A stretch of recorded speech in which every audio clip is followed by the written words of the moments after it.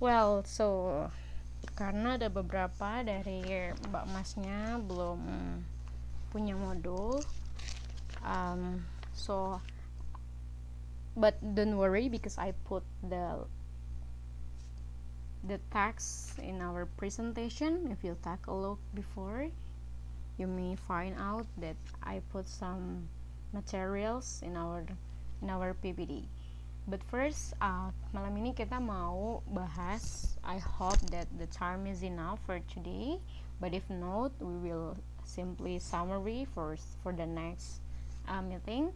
There are some language points karena tadi I have emphasized in translating something or informal translation what do we need to emphasize more are about the components that you use in English translation for example the grammar or the structure the um, context of the language and also the coherent and coherent atau keselarasan uh, dari teks tersebut from one paragraph to another paragraph well jadi Later on, we will take a look an example of some language point. Ada beberapa language point yang akan kita bahas. Yang pertama adalah adverb frequency. Sebenarnya saya percaya kalau you um, Mbak Masnya have already uh, have previous grammar basic or basic grammar because as I hear you speak a good, very good English and also you may have very familiar with some words or vocabularies but what I want to share is about maybe we would like to um, look at how do we use this component or this grammar in tran in our translating skill? Jadi gimana menggunakan basic-basic grammar ini dalam menerjemahkan? Apakah nanti kita akan menerjemahkan sesuai dengan tensesnya atau enggak gitu? Jadi ada adverb frekuensi ada possessive adjectives. Maybe you're familiar with that. So if you're familiar nanti kita langsung go on. Um, nanti ada to wish ada juga time clause introduced by when and next adalah present perfect or present perfect continuous. Jadi selain present simple versus present continuous we will like to notice about present perfect and present perfect continuous tense. Okay. Nah, ini language pointnya ya. Jadi nggak usah terlalu bingung. Let's take a look in the real uh, example.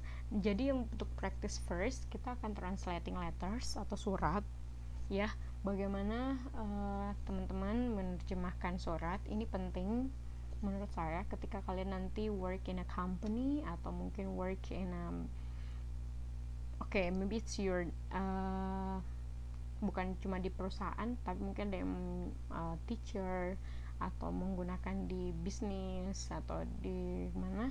Ketika kalian berhubungan dengan surat menyurat or electronic letters mungkin di email atau mungkin surat yang formal letters nanti kita bisa melihat bagaimana kita menerjemahkan letters from misalnya English to Indonesia atau vice versa.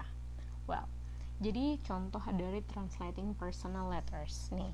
Saya mau satu orang selain Mbak Eka ya bisa membantu saya untuk read the text. Nggak semua ya mungkin paragraf pertama dulu sampai beberapa kalimat aja sampai starts ayo siapa yang bisa? Ini uh, sambil saya ambil nilainya semua ya. Jadi jadi saya tuh uh, menilai oh ya tadi saya belum menjelaskan maaf karena uh, belum ada guideline juga dari abagian akademik tapi saya bisa nyatet kalau um, grade atau skor yang kita dapat yang Mbak Mas akan dapatkan itu bergantung dari attendance, partisipasi, kehadiran di kelas, uh, partisipasinya di kelas sama nanti ujiannya. Oke. Okay? nggak terlalu susah sih. Jadi kalau misalnya ada yang uh, Mbak Masnya tahu langsung aja jawab biar bisa berkontribusi gitu jadi yang pertama ada yang bisa untuk read the text anyone would like to read the text from dear guys ya okay. saya oke okay. please siapa dulu Tia gue dulu ya alright uh, ya deh lu dulu ini berapa berapa paragraf Miss Satu. Uh, saya ambil dua paragraf nanti habis itu Tia boleh boleh please oke okay. Dear Gail, I wish your message about the dangers of pre could be heard by every parent. Pre never creates responsible, respectful children. Your first priority is to stop your eldest son from picking on his siblings. To do this, you will have to provide a high level of supervision. Keep him with you until he agrees to treat his siblings appro appropriately. Appropriately. appropriately. Okay. Then stay close because you need to stop his misbehavior Behavior. as soon as it starts. Respond by either having him come with you or sending him to his room. If you send him to his room, however, understand that this is not a punishment. Rather, it's the place where you go when you cannot be around other people. In effect, it's in effect it's his behavior that you are confining to his room, not him. He can come back as soon as he is prepared to treat family members properly. Proper. Okay, nice. Good job. Next paragraph.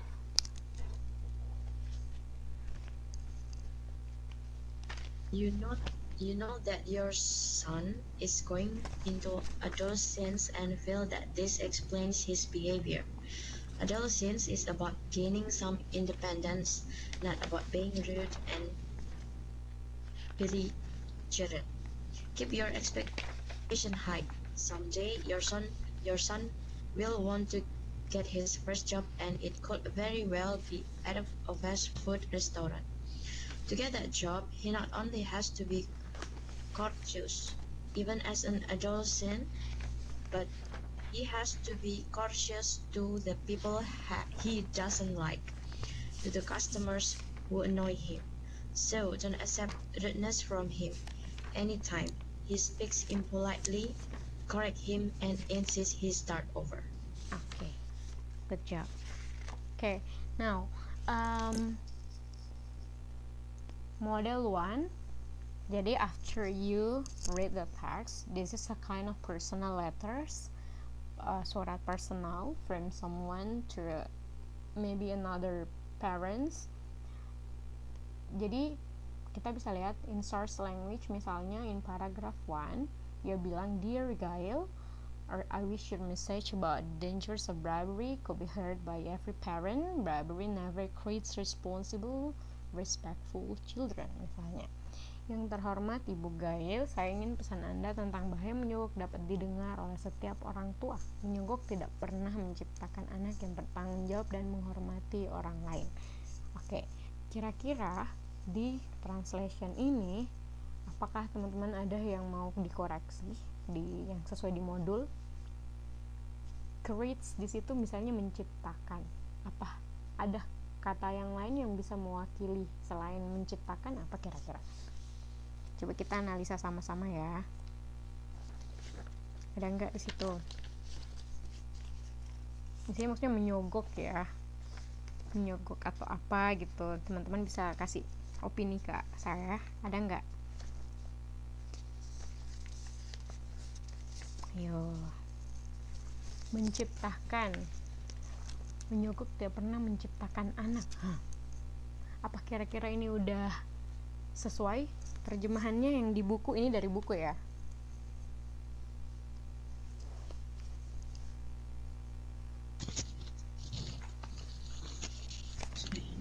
Ada opini? Apa betul create itu men menciptakan? Atau ada kata lain mungkin dari teman-teman yang bisa?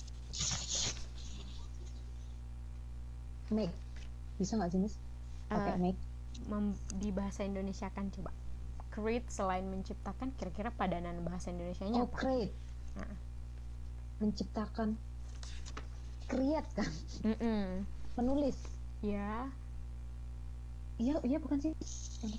Iya yang ini kan never creates responsible. Di situ kan diterjemahkan menciptakan nih. Is yeah. there any meaning atau kat, padanan kata dalam bahasa Indonesia yang ses, yang bisa mengartikan itu? Kan tuh kalau kalian menerjemahkan biasa mungkin teman-teman pikirnya ini ganjil gitu atau ada yang ganjil di, di modul yang kalian lihat ini?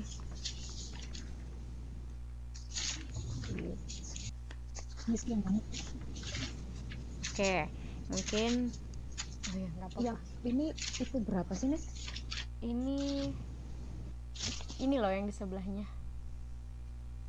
Personal letters yang pertama. I wish your message about oh asta oh ini. Yang di samping nih ya Allah saya itu nyarinya di itu.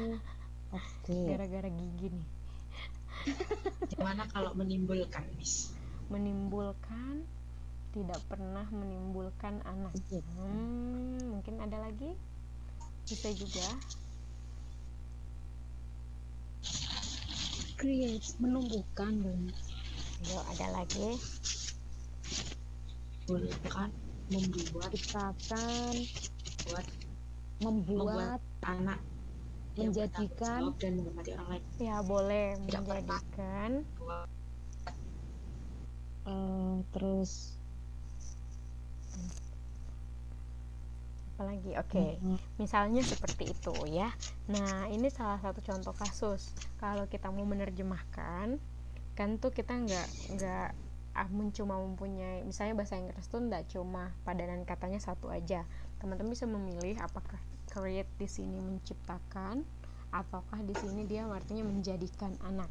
Oke okay? kalau di modul dia menciptakan tapi in another context kita bisa mengartikan ini adalah menjadikan anak yang bertanggung jawab dan menghormati orang lain. Nah itu maksud saya. Kenapa? Karena misalnya ini kan personal letters jadi dia lebih ke personal atau lebih ke perorangan. Kita harus menerjemahkannya misalnya uh, secara persepsi atau konteks kita yang kedua sesuai konteksnya gimana sama harus grammatically accepted diterima secara struktur.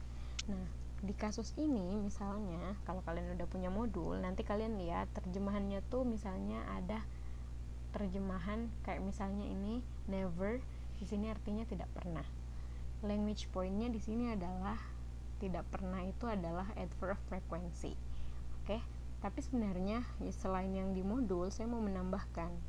Selain language point yang teman-teman perhatikan adalah bagaimana menyesuaikan kayak tadi create responsible kan udah bagus nih bertanggung jawab. Respectful kan menghormati. Selain menghormati apa lagi respectful itu bisa diartikan apa menghargai ya. Jadi bisa menghargai juga. Nah sisa teman-teman ketika menerjemahkan surat atau menerjemahkan dokumen nanti nanti harus disesuaikan sama kamus besar bahasa Indonesia. Misalnya respectful itu bisa menghormati menghargai. Nah kayak gitu. Itu maksudnya saya selain jadi kita nggak bisa menerjemahkan secara kata per kata aja tapi kita harus menerjemahkan sesuai konteks kalimatnya mau kayak gimana. Oke? Kayak gitu ya. Jadi itu basicnya dalam translation. Gak cuma punya satu makna tapi bisa lebih dari satu makna. Kayak gitu. Dan paling penting sesuai ya. Kayak tadi mungkin membuat anak create itu nggak bisa mungkin agak kurang ya. Berarti kita bisa pakai menciptakan atau menjadikan seperti itu nah di language point di sini misalnya dia min, uh, di buku modul ini menjelaskan tentang adverb frekuensi. Mungkin teman-teman udah tahu ya, ini dipakai di simple present tense. Nah, salah satu contoh kalimatnya di situ adalah you will, ah enggak, ini dia yang di buku ya. Nah, di modul itu dia menjelaskan kalau misalnya ketika kita menerjemahkan, biasanya kita menggunakan adverb of frequency atau misalnya kata keterangan frekuensi. Nah, ini ini teman-teman udah pelajarin nggak di di pelajaran di semester sebelumnya? Oh, sudah. Sudah, bagus ya. ya. Always apa? Always itu selalu. Oke, okay, gampang ya. Selalu biasanya frequently, often, sometimes. Oke, okay, kayak gitu. Kalau misalnya ini. Ini terjemahannya apa? Yang lain dong ngomong ada Mbak Sitatun, bisa nggak? Atau Mbak sini kalau mau coba bisa diartikan ini artinya apa ya dia tidak akan dia tidak mampu tidak akan pernah mampu untuk bekerja kembali oke okay. tidak akan bisa dar never be able ya tidak never never bisa. tidak akan ya. pernah bisa oke okay. Bisa. Jadi nah di sini eh, able ada dua ya bisa bisa atau mampu. Nah kira-kira nanti teman-teman bisa lihat konteks kalimatnya nanti kayak gimana. Oh di sini mampu atau bisa gitu. Nggak apa-apa bisa dipakai kok dua-duanya. Tapi di sini yang diemphasize never itu tidak pernah atau bisa tidak akan pernah. Ya itu maksudnya. Kita kalau sesuai literally kita kan mengartikannya tidak pernah tapi kalau misalnya untuk secara uh, konteks yang benar kita, itu tidak akan pernah ya? iya betul never itu nah never itu tidak akan pernah kalau hard, hardly ever itu masih ada kemungkinan kalau never itu tidak ada kemungkinan sama sekali. Exactly, betul. Hardly ever berarti kalau di, bisa diartikan bahasa Indonesia artinya apa dong? Hardly ever. Uh, mungkin. Hmm, mungkin. Hardly ever. Atau hardly. Kemungkinan. Mungkin. Tidak, ya, tidak pernah. Yeah. Oke. Okay. Atau hampir tidak pernah, kayak gitu. Hampir tidak pernah bermain video game misalnya kita hampir tidak pernah bermain video game. Di sini 10% ya betul 20% tuh misalnya jarang, rarely itu sangat jarang, uh, sometimes kadang-kadang kayak gitu. We always have a good conversation. Thank you ya yang membantu jawab tadi. Mbak Eka, Mbak Darwati sama yang lain yang menyimak. Kalau ada mau yang mau uh, dijawab silahkan. Num the sentence number two, we always have a good conversation. Artinya apa? terjemahannya apa kira-kira mereka jarang sekali harus membayar penuh untuk kita segala kita sesuatu oh iya ya kita kita kita selalu kita jarang sekali rarely jarang sekali uh, uh. harus membayar penuh untuk segala sesuatu. Ini ini dulu oh, mbak, ini dulu. We yang yang we always have a good conversation kan Miss? Iya betul, ini dulu ini dulu ya. Lu lu lu lu mau terjemahin mana sih kak? Terjemahin sih mana sih kak? Mistake, mistake. Gak apa-apa. Ayo terjemahin yang B. Iya. ya. Itu natap natap itu dong layar dong. We always nggak apa-apa. Kita selalu kita selalu mempunyai percakapan yang percakapan yang bagus. Oke, nah menarik Iya betul, menarik percakapan a good conversation sini bisa diartikan kira-kira apa? Apakah cuma bagus, menarik, menyenangkan? Menyenangkan. Nah boleh. Kita selalu memiliki percakapan yang bagus atau percakapan menyenangkan. Kalau good kan kita terjemahannya tuh cuma bagus kan ya. Cuma kalau ini di dalam konteks percakapan, conversation berarti kita bisa memberikan penambahan menarik. misalnya menyenangkan atau menarik betul nah kayak gitu nah kalimatnya agak salah ini yang bener itu we always have a good gibah gitu. Itu mah lu kak. Oh, oh sorry betul sorry. ya? my mistake my mistake bro. iya netizen plus 62 ya hmm, betul. saya kan adminnya lambe turah uh -uh, wah pantas ya. We always betul. Nah a good conversation a good gossiping misalnya. Always di sini selalu. Berarti tingkat keseringannya 100% persen. Selalu betul kita selalu mempunyai atau memiliki. Ayo kira-kira yang mana sih yang bagus? Di sini have kan dua. Mempunyai atau memiliki? Memiliki. Ya memiliki. Boleh. Jadi hmm. kita bisa ya kita selalu memiliki percakapan yang menyenangkan. Oke okay? atau mempunyai percakapan yang menyenangkan oke. okay. Kayak gitu nah itu yang maksud um, uh, itu yang kita maksud tentang uh, menerjemahkan secara konteks dengan melihat uh, language pointnya apa adverb frekuensinya apa oke okay? jadi Oke, okay, selain itu saya saya sebenarnya uh, tidak terlalu mengemphasize di modul ya. Kalau misalnya ada yang saya mau tambahkan saya akan langsung tambahkan. Yang menurut saya penting. Kalau di kayak adverb frekuensi menurut saya teman-teman udah banyak paham jadi kita bisa skip ya. Um, okay. ya. Nah kita mau practice tapi karena kayaknya kita cuma punya waktu 30 menit ini nanti bisa menjadi self study teman-teman. Kalau udah punya modul uh, lihat di language point ini bisa teman-teman practice dulu menggun apa menggunakan pertanyaan-pertanyaan yang ada di sini ya. Oke. Okay. oke okay, karena ini sisa 30 menit kayaknya. Nah in another translating personal letters kita lihat ada beberapa. Misalnya your first priority is to shop berarti artinya apa? Prioritas pertama, pertama kamu, kamu. ya adalah untuk menghentikan. Ini kan dari kalimat nih misalnya your first yeah. priority is stop your eldest jadi di sini kita bisa mengartikan your first itu apa? Prioritas pertama Prior anda ih, atau prioritas utama. kamu anda atau apa? Yours. Bagusnya apa nih? Prioritas utamamu adalah untuk berhenti. Oke berarti kita bisa pakai anda atau kamu ya iya.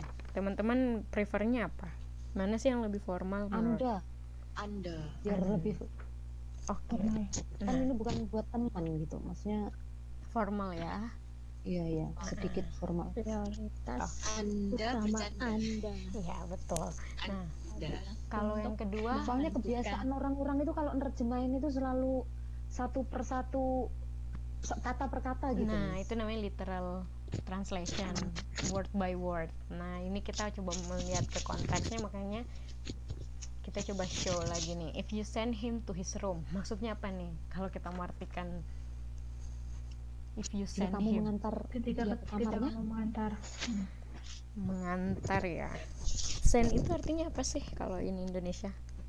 Kirim. Kirim. Nah kira-kira nyambung nggak nih kalau di surat ini dia bilang kayak gini nyambung mis kan anaknya dimasukin box gitu box paketan terus didorong gitu kan di, dibawa ke indeks ya. Iya. Biar yeah. biar lolos corona guys. Mm -hmm. ya jadi send this delivery dong ya. Nah send sama delivery gimana tuh bedanya? Kalau kira-kira di sini apa? Artinya if you send him to his room. Mengantar. Ketika kamu mengantar dia ke ruangannya? Kamar his room kamar nah ini ya. Ada yang bilang kamar ada yang bilang ruangan. Lihat konteks biasanya kalau kayak gini tuh mas. Hmm. tapi kalau ini biasanya tuh kamar. Kamar ya? Iya. Yeah. iya. Terus sennya gimana? Sennya mengantar. Mengantar. Oke. Okay eh bukan kayaknya miss. Kalau ini bentar ya. If you send respon ini kayaknya menyuruh dia gitu iya mengirim. Bisa sih yeah. mengirim. Menyuruh menyuruhnya ke kamarnya.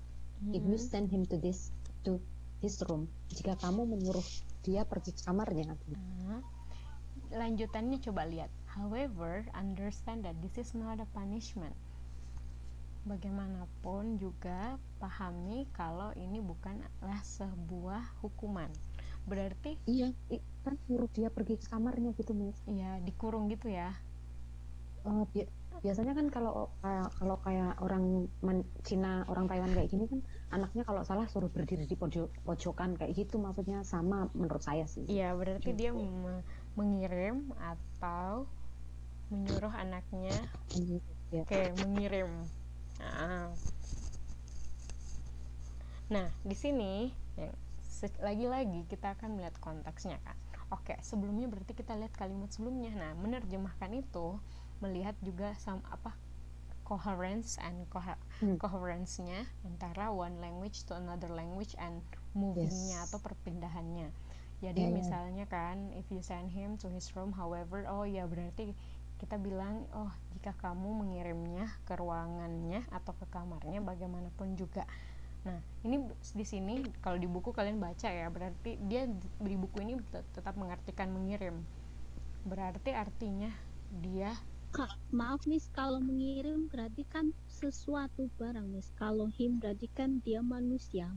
Kan biasanya kalau manusia kan diantarkan itu nggak pakai kirim Miss. Uh -uh. Itu nggak diantar Mbak, itu disuruh tok. Iya. Uh -uh, ya oke. Okay. Itu nggak dianterin. Ya ya oke. Okay. Jadi gimana kira-kira? Nah, ayo, aku suka kalau kalian kritik apa memberikan opini gitu kalau saya sih itu if you send him jika kamu menyuruhnya pergi ke ruangannya gitu. Jika kamu menyuruh dia pergi ke ruangannya bagaimanapun gitu terusannya ya karena anaknya misalnya ini bukan hukuman gitu ya. Yes, yes. Nah, apakah menurut saya. Ya apakah kita bisa menggunakan itu walaupun dia orang bukan benda dengan kalimat mengirim atau mengantarkan bisa menurut saya. Bisa, bisa. Karena konteksnya emang seperti itu ya dia menggunakan sen yeah. kenapa dia nggak menggunakan kenapa coba di kalimat ini dia tidak menggunakan kalimat apa kira-kira kalau kita di bahasa Inggris itu kita mau ganti sen jadi apa? Trap uh, enggak atau suruh tell him bisa atau mungkin mengur mengurung? Ya boleh tell him bisa if you tell him. Atau combine nanti kan ada di situ. Kan you are combining him. Nah kayak gitu ya. Hmm. nah oke okay, bagus nih kalau kita mulai pusing. Berarti kita belajar. Nah itu maksud saya. Di sini dia menggunakan send berarti memang artinya dia mau mengirim itu atau mengantarkan boleh. Berarti dia tidak menggunakan uh, in present atau bukan menjarahkan ya atau confining atau mengurung kan confine itu mengurung kan tapi dia menggunakan send berarti mungkin maknanya memang ini kan orang native speaker nih yang nulis nih. Berarti dia hmm. mungkin karena ini personal letter jadi hmm. menurut menurut Mbak Mas apakah personal letter ini masih tergolong formal atau enggak? Setengah-setengah sih iya betul. Ini informal ya. Berarti ini bisa hmm. ditujukan ke ini dan ini masih informal di hmm. learning activity kalian bisa lihat nah ya, di sini sen di sini walaupun secara awam kita mengatakan sen itu barang ternyata ada loh yang digunakan dalam kalimat nah dan tetap kita tetap mengartikannya mengirimkannya atau sesuai apa yang tadi Mbak Mas itu nggak masalah yang penting itu nyambung dengan kalimat selanjutnya itu aja oke okay? tapi okay. di sini language point yang kita tekankan adalah nya. Him di sini kalau kita kita mengartikan kita artikan mengirimnya ya. Him ini apa? Kata ganti apa? Apa? Miss? Him. Mana? him itu kata ganti apa? Kata ganti. Bentuk orang. Kata ganti orang. Orang ketiga. Laki-laki. Ketiga. Ketiga. Ketiga. Ketiga laki-laki. Bentuk ketiga laki-laki. Oke. okay. Him. His room artinya? Ketiga perempuan. Ruangannya ya. His tapi laki-laki. His room ha. oh. Room kalau her room. baru ya. Sorry, sorry, sorry. ya nah nggak apa-apa ini maksudnya tuh his room di sini adalah ruangannya. Ketika kita menerjemahkan possessive adjective ini yang susah karena kita nggak kita di bahasa Indonesia tuh cuma punyanya itu satu. Misalnya kan kalau di sini dia maksudnya laki-laki kan. Kalau di bahasa ya. Indonesia kita ada uh, gender nggak nggak ada ya ya perempuan ya namanya. Kalau ya betul. Nah ini kan him, him ini laki-laki. Kalau dia perempuan her. Nah berarti kalau misalnya her room ruangannya, his room ruangannya juga kan? Nah gimana kira-kira solusinya kalau kita menerjemahkan? Apakah kita hanya menerjemahkan pakainya ruangannya atau enggak? Kayaknya tetapnya. Betul sekali tetapnya. Karenanya di sini uh, padanan katanya dari possessive adjective itu memang cuma di Indonesia itu emangnya. Jadi misalnya ruangannya ruangan apakah dia laki-laki atau perempuan tetap pakainya. Atau itu benda atau hewan tetap pakainya ya. Sebenarnya emphasizing dari materi possessive adjective itu itu. Oke? Okay? paham ya? Nah oke okay, mungkin uh, masih kalau misalnya ada yang bertanya nggak apa-apa. Termasuk tadi sen itu apa artinya nggak apa-apa. Nanti teman-teman bagus kalau mencari tahu kira-kira kenapa sih mereka nggak tulis send di sini. Ada kok lanjutannya suratnya? Mungkin teman-teman belum baca semua ya suratnya belum. Belum ya uh, nanti bisa dipahami kok kalau dibaca suratnya. Oke. Nah ini karena kita sisa punya waktu 15 menit atau 20 menit kita langsung baca. Ada bisa nggak dilanjut? Ini udah dibaca nggak sih tadi paragraf ini? Ini udah. Ya sudah oke coba baca contoh kalimatnya aja nggak apa-apa. Reader yang ini ya. Hmm. Oh, rather is the place where you go when you can be around people oke okay. rather ayo di situ when yang di underline warna merah artinya apa ya? Ketika. Ketika. Pintar. Betul. Ketika. Kapan when berarti kapan? Eh, pertanyaan saya kan Kapan when berarti kapan?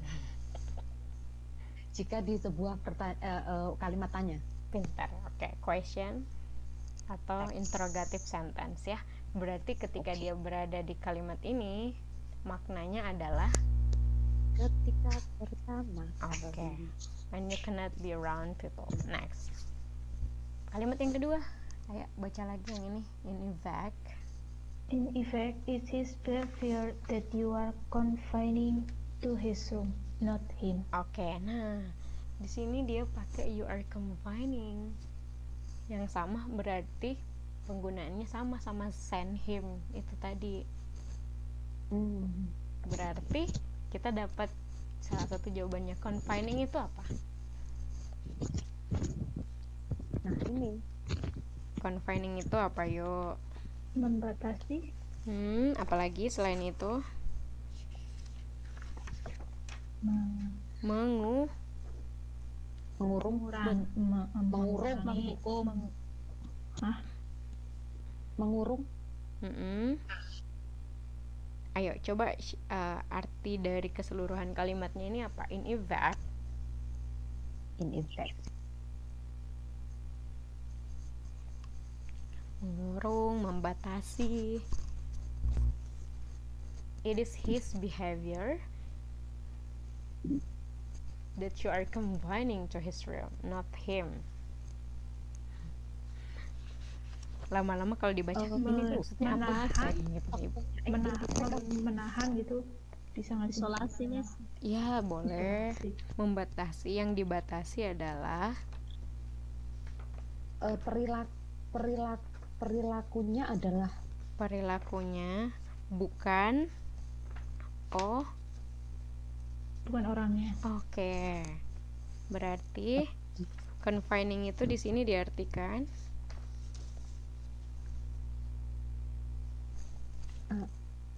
mengurung. Membatasi hmm. atau mengurung boleh dibatasi atau mengurung. Nah di sini you are confining coba uh, kita analisa lagi ya karena emang kita butuh analisa. Ini kan present continuous tense nih. Pernah belajar kan? Mm-hmm. nah mm. kalau continuous tense itu I'm eating saya sedang makan. Kalau di kalimat ini kita pakai sedang nggak sih? Kalau kita mau menerjemahkannya. Mm confined in his behavior that you are confined nggak nggak nggak sedang berarti nah. Berarti kita nggak perlu pakai sedang kan tapi kalau yeah. menurut sentence ini tuh present continuous tense loh iya yeah. nah berarti salah satu pelajaran lagi bahwa kalau kita menerjemahkan itu doesn't necessarily kita menerjemahkan secara tenses di sini bisa berarti yang kamu batasi bukan kamu yang yang kamu sedang batasi atau yang sedang kamu kurung gitu kan jadi hmm. kita hmm. dalam bahasa Indonesia smooth aja biar halus terjemahannya nggak kaku nggak kayak literally word by word berarti dia nggak perlu dipakai sedangnya berarti nggak semua present continuous itu walaupun dia berarti sedang dia kita artikan sedang oh. ya cup tapi tapi tapi kita tahu maknanya kalau itu sedang terjadi paham nggak mm-hmm. uh, uh, we understand that the action or that happen is happening now but we don't need in terms of translating we don't necessarily need to translate using sedang gitu. Ya. oke okay? cool. Tenang kita nanti banyak praktis kok kalau misalnya ini biar. Sekarang coba kita lihat another language. If you wish you can celebrate their success di situ wish artinya apa? Gampang nih. Wis, harap Harapan. Ji- ya wish itu bisa berarti harapan. Nah kira-kira kalau di kalimat ini bisa nggak? Jika kamu harapan nih apa nih maksudnya? Berharap atau apa? Kamu berharap. Jika kamu mau. Ah. Jika kamu mau. Me iya celebrate merayakan kesuksesannya. Mau itu formalnya apa? Ya selain mau want Bersedia. mau want would will. Ya in bahasa Indonesia apa kira-kira? Bersedia. menginginkan ingin. Kamu betul. berarti nah berarti wish di sini apakah berarti berharap atau ingin? Harap. ingin. Oke, coba kita cek lagi. Kita cek dengan mencocokkan kalimat sebelumnya dan kalimat setelahnya. Gitu ya. Coba. yes Oke, cara mencocokkannya apakah kita artinya itu berharap atau ingin, kita coba lihat if you make it only a short trip out in public, your children should do well. If you wish, you can celebrate their success by Miss ini di modul halaman berapa sih Miss? oh, satu titik empat satu titik empat. Oh, masih baru kok ya betul ya satu titik oh, empat oh. uh-uh. Itu para ini paragraf 4 nih ada ya keterangannya Oke, oke. yes. if it you make it only a short trip in our public your children should do. If you wish you can celebrate their success by taking them somewhere special afterward or buying them a special treat nah.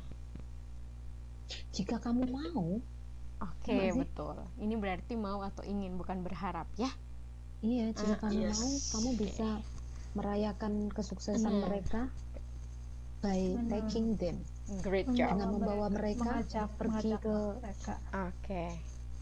Buying them itu kalau mau diartikan satu-satu membelikan mereka kan salah atau membeli mereka sorry. Nah tapi kita kan in bahasa Indonesia bisa mengartikan membelikan atau mereka ya sebuah apa gitu special treat perlakuan atau special hadiah eh, istimewa. hadiah istimewa atau misalnya treat treat tindakan atau apa gitu itu bisa diartikan a special treat itu di sini maksudnya perlakuan yang spesial nah kembali berarti wish itu bukan berarti semua kita artikan sebagai berharap Harap. Arab gitu.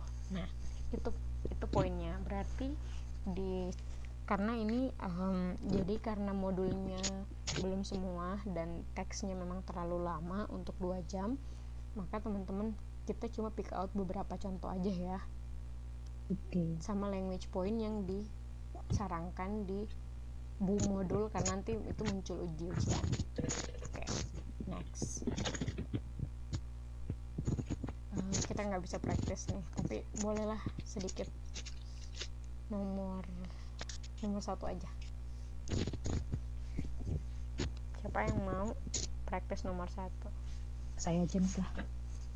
Boleh, siapa aja? You should never eat eat, eh, eat eggs if you are worried about cholesterol. You should. Kamu you should.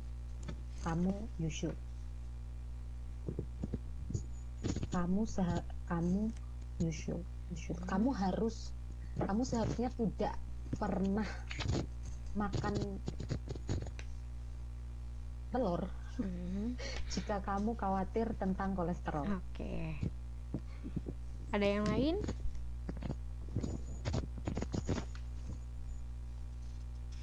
Ada yang lain? Ada.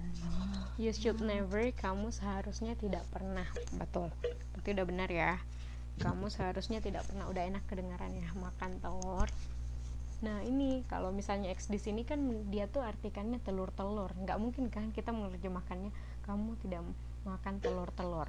Berarti kita bisa mengartikan apa? telur telur Telur Ayo. Ayo. Kan Kita bisa telur. menggantikannya dengan apa? memakan banyak telur ya pintar banyak telur walaupun walaupun tidak ada kata much atau many di sini tapi karena ini lebih dari satu kita bisa mengartikannya kamu seharusnya tidak tidak pernah makan banyak telur lagi jika kamu khawatir tentang kolesterolmu atau, atau gimana? Boleh. Ya kayak kayak gitu loh maksudnya ya. Jadi um, ada yang bisa ditambahkan, ada yang bisa dikurangi in translation, tergantung konteks kalimatnya sama tergantung kalimat sebelumnya atau sesudahnya apa. Oke. Okay? Nah, to summary untuk menyimpulkan in translation kita harus punya deep analysis makanya tadi saya cuma saya tidak cuma harus menjelaskan tentang yang di modul tapi karena ada kata-kata yang menurut saya menarik buat teman-teman untuk untuk pahami sama teman-teman discuss berarti kita harus analisa itu. Kayak tadi send uh, wish want confining atau yang lain. Kontekstual sama kita harus learning the strategy and procedure dari translation. Salah satunya adalah dengan memperkaya bahasa Indonesia kita. Intinya sebenarnya itu. Sorry sebenarnya saya juga bahasa Indonesia-nya I'm not good uh, I'm not very good Indonesian speaker bahkan kadang sudah tidak terlalu baku kalimatnya tapi karena belajar bahasa Inggris for translation di mata kuliah saya dan pernah salah satu pernah di Australia waktu itu saya menjadi penerjemah juga saya akhirnya belajar kalau kita tuh butuh belajar bahasa Indonesia. Intinya translation itu bukan cuma bahasa Inggris ya Mbak Mas eh, tapi juga bahasa target bahasa Indonesia misalnya atau bahasa Chinese kalau kalian mau menerjemahkan. Nah, makanya saya sarankan untuk mata kuliah ini kita nanti banyak-banyak teman-teman juga download kamus bahasa Indonesia. Oke, biar kita bisa sama-sama cari padanan kata kalau misalnya nanti ada praktis lagi. Oke. Selanjutnya practice makes perfect. Hitung-hitung kita menjadi warga negara Indonesia yang baik ya. Jadi memperhatikan bahasa Indonesia karena ini sifatnya formal. Sama details checking and reviewing. Kenapa akhirnya saya bertanya 2 sampai tiga kali? Karena saya mau teman-teman ya make sure and sure that everything is already based on the context and then um, the previews and then far after the sentencesnya itu nyambung connecting gitu sesuai maknanya apa. Oke? okay? Nah, sebenarnya uh, ini ada feedback ya. Kita learnnya apa? Nah, sebelumnya ada question nggak? Sebelum saya mau summary aja sih sedikit learning activity itu ini nggak bakal bisa selesai.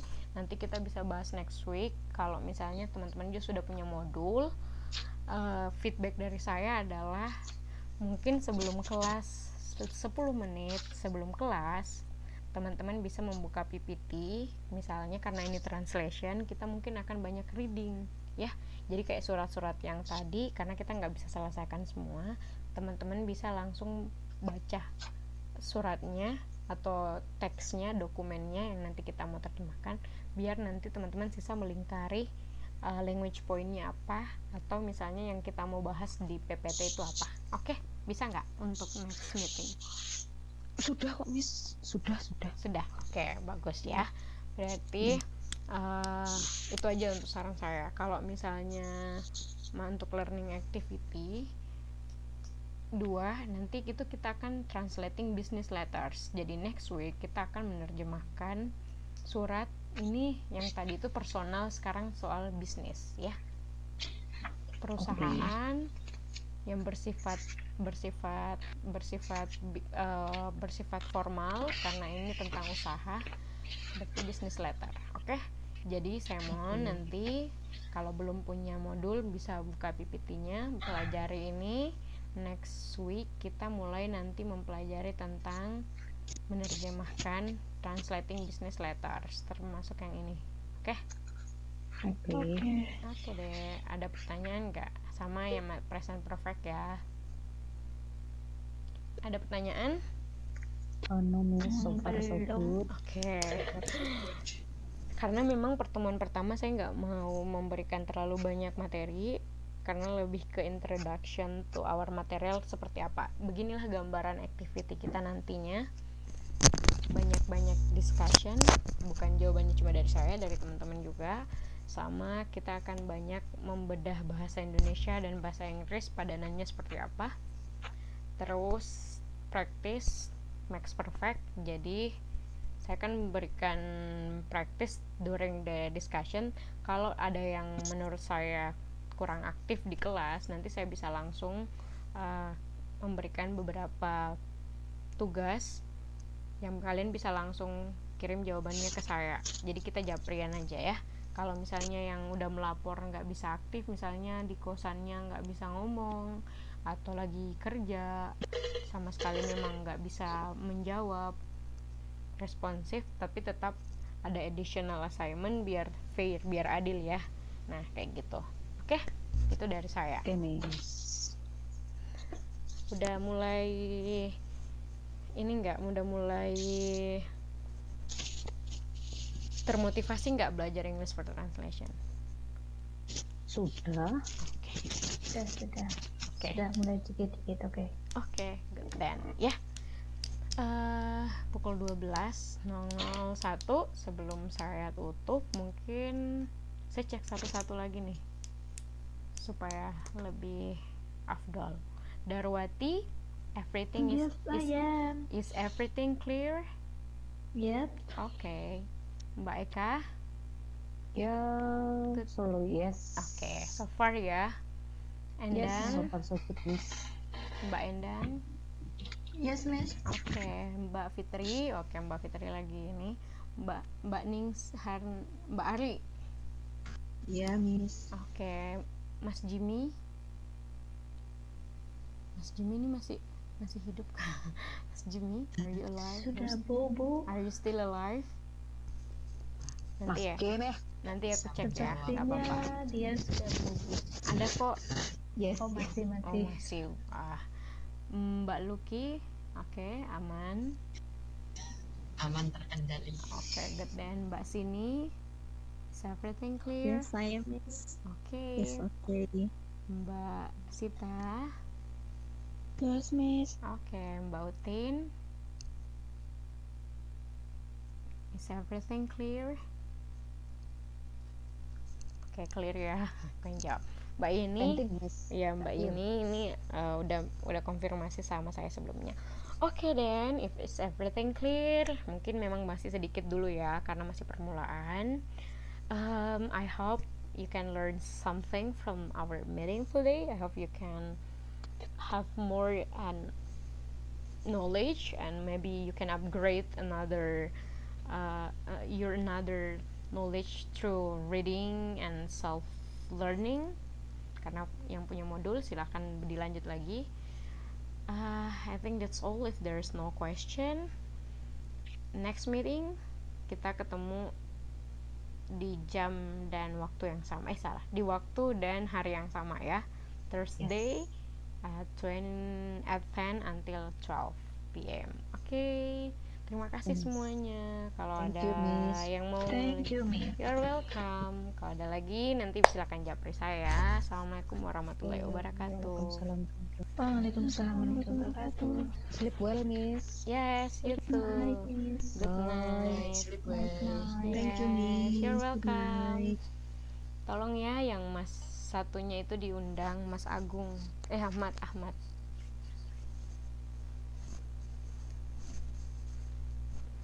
Alright, thank you.